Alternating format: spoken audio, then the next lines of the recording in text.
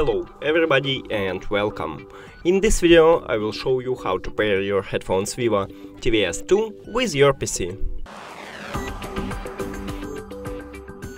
You have to start by click on the Windows icon, now go to settings, devices, add Bluetooth, Bluetooth. Now open the charging case and after that press and hold connectional button for at least 2 seconds.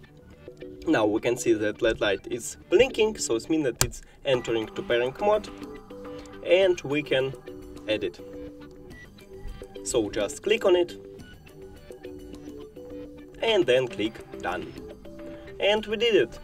Thank you for watching this video. If you found it helpful, please consider subscribing to channel and leave the like on the video. It's really important to us. See you later!